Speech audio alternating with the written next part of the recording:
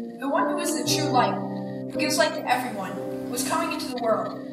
He came into the very world he created, but the world didn't recognize him. He came to his own people, but even they rejected him. But to all who believed him and accepted him, he gave the right to become children of God. They are reborn, not with a physical birth resulting from human passion or plan, but a birth that comes from God.